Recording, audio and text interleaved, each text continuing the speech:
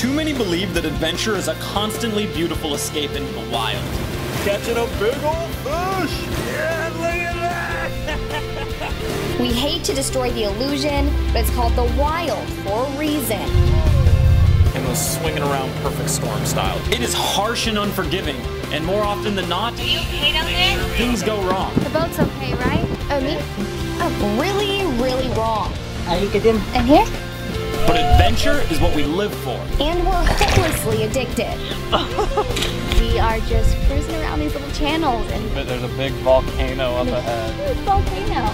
I'm Joey, and this is my wife Kelsey. We left our successful careers behind to be pirates. Well, not exactly pirates, but close enough. Meet the pirate ship, the one of a kind 50 foot sailboat we rescued. And renovated. What's in there? The dream? Sail over 2,000 miles from San Diego to Nicaragua. Arrive alive, start a business in a developing country, and offer others the sailing adventure of a lifetime in a country we love. Simple, right? Nothing worthwhile ever is.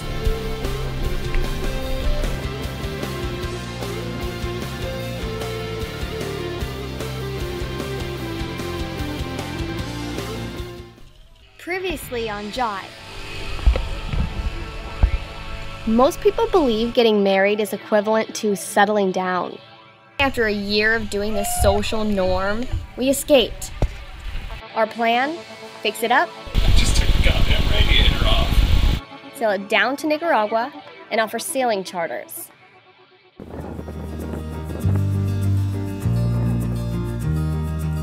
Some call us dreamers, some call us doers, others think we've totally lost it. The truth is, we're probably a mix of it all.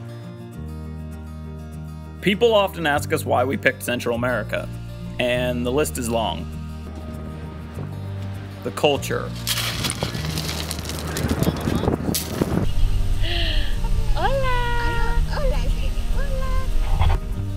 Hola! ¿Cómo te llama? ¿Y usted? ¿Cómo te llama? ¿José? Mismo, José. José Pablo.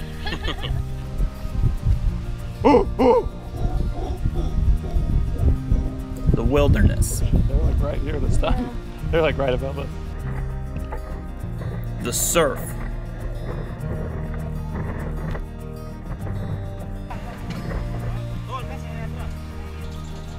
the adventure,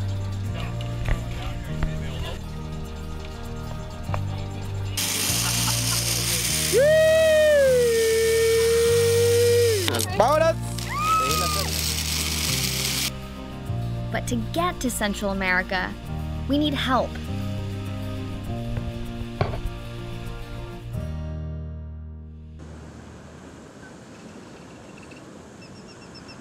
I've put a lot into getting the boat ready for this voyage, but just as important is the crew.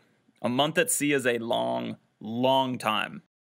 One thing you have to take into account when you're getting a crew together, it has to be somebody that you're gonna kind of mesh with because a boat, even a 50 foot boat, gets really, really small, really, really fast when you're sailing out on the ocean, and the only people you can talk to are those guys. Yeah, let's do it. So the last thing you want is somebody who's gonna cause problems, somebody who's gonna be talking trash about the rest of the crew. You just gotta clean them, just clean them. Those kind of problems might seem small, but when you're together that long and you can't get away from each other, they can kind of ruin it. I've climbed mountains all over the world, and through journeys spent in tents on icy slopes for weeks at a time, I've learned firsthand the value of being with the right people. So far on the crew list, we have me, my little brother, Greg, who's really not so little, standing tall at six foot five. He's one of the nicest guys you'll ever meet. Oh, so sensual. And my beautiful wife, Kelsey. She might be cute and tiny, but she does better in tough situations than most anyone I've ever met. Regardless how great they are, I can't sail the pirate ship by myself, and they're lacking in the experience category. Out on our jib. Needless to say, we need some people who know what they are doing. Which is what led us here to Santa Barbara. We heard through a friend about these guys, so we drove the four hours north from San Diego to check them out. Definitely not a bad business trip. Good news is I have two new guys. They're young, hungry, adventurous sailors. Meet Quincy. Hey, how's it going? Name's Quincy Briscoe from Ashland, Oregon. And Travis. All I look to get out of this trip is uh, just that sense of adventure. This is this is what makes me happy. This is what I love to do, and I'm just happy to have this opportunity to be a part of this boat, part of the, the crew, and get this boat safely where it needs to go. As a team, we have a few things in common our need for adventure and our love for nature. Sounds silly, but honestly, what I am most excited for is to see the stars at night out on the open ocean.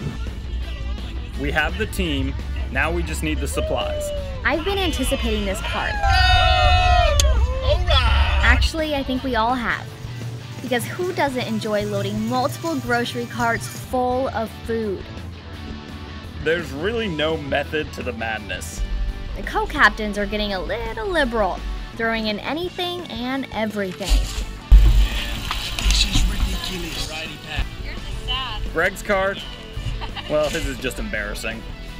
Joey and I were sticking to our list. Uh, veggies, we hit hard. Onions, we hit hard. Sweet potatoes, I didn't see. Um, no, we did get potatoes though, like Potatoes, okay, potatoes. Then a- there is the alcohol aisle. What kind of pirate ship would it be if we didn't have a rum stash that would make Jack Sparrow proud? It's ridiculous. And more than half the trip would be spent in Mexican waters, so it would be bad form not to have tequila on board. And to show some patriotism, I figured we should have some whiskey. Okay, so we didn't skip much when it came to booze, but if we ended up floating in a life raft in the middle of the Pacific, we need plenty of beverages as we waited for the sea to swallow us up.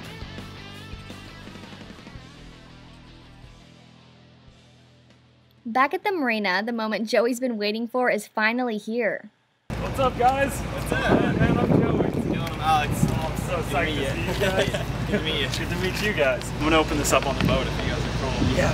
Oh, sweet. I don't even know what it looks like. All the excitement is about Joey's custom made Robert August board. Yeah. Unveiling. It's just wanted to do it ever since I got over there. He has no idea what it looks like, but to say he's excited is definitely an understatement. Sick balsa wood center. Ah! Oh, this is so fresh. Good God. So shiny. What? That's dope. Hit some great waves on the way down, so. Nice. Yeah. Where are you guys headed? Nicaragua. Oh, nice. So yeah, we got a huge journey leaving tomorrow. Cool. We tackled some last minute stuff. Gave rollover a good bath. Checked the sails condition once again. And soaked in the San Diego sun for the last time.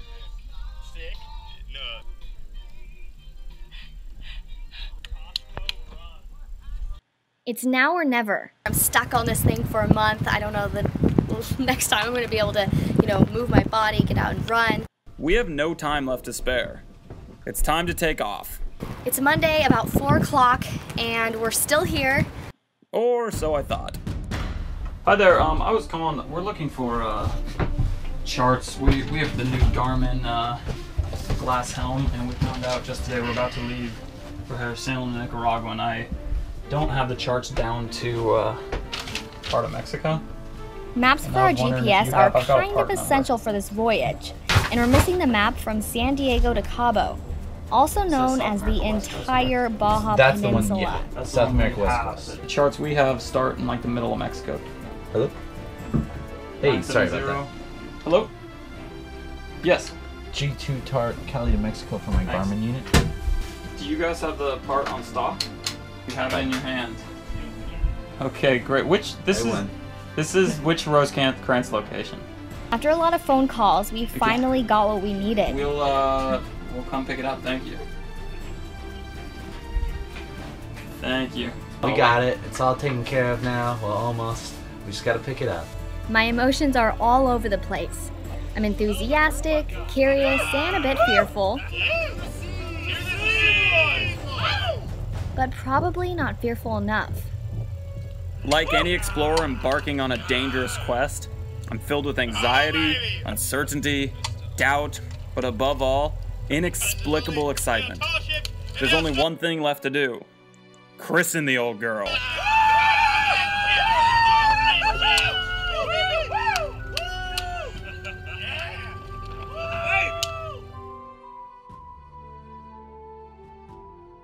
Next time on Jibe.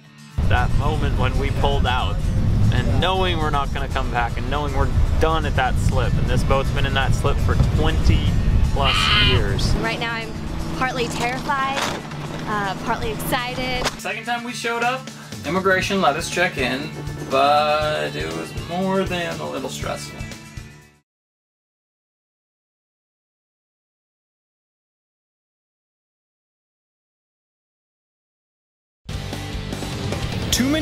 That adventure is a constantly beautiful escape into the wild. Catching a big old fish!